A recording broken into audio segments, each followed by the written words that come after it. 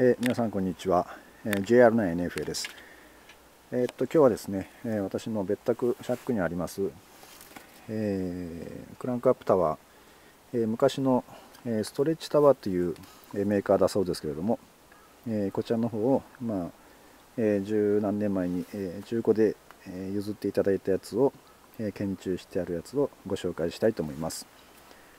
えー、皆さん、えー、よくえー、巷で言われているのが、えー、このガイドローラー、えー、ガイドローラーの、え、破損が、えまあ、頻繁に起こるということなんですけれどももう私は、え、こちらの方はもうほとんど消耗品だと考えております、え、もう2シーズンぐらいで、え、もうグリスが切れて、え、壊れますので、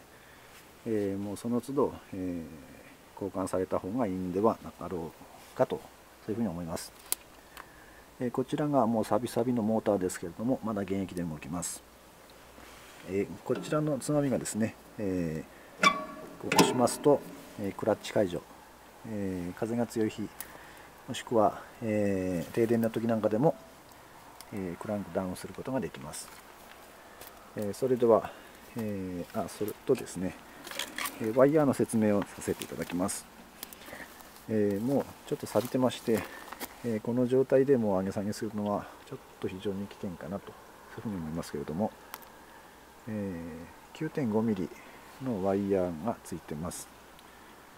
えこんな感じになってますけれども、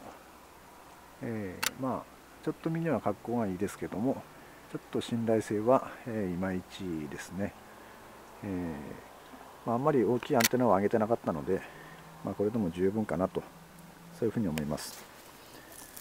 えー、っとモーターはマックスプルという、えー、インチがついてるみたいですけれども、え、ちょっと詳細はよく分かりません、えそんな感じになってます、えそれではですね、え一度ちょっと上げてみましょう、えフォワードスイッチ。これが、えブレーカーですね。でこちらの方が、えサーマルリレーというかえー、感じになって30というのかな。ちょっと読み方違いかもしれませんけれども。これで、えー、上昇してます、えー、まあ、スピードは、えこういった感じで上がりますけれども。で、まあ、モーターも、えまあ、今のところは動くので、えまあ、これでなんとか遊べるかなと。先ほど説明しました、えこれがクラッチ解除。そうしますとモーターのクラッチが外れて、えー、タワーが加工します。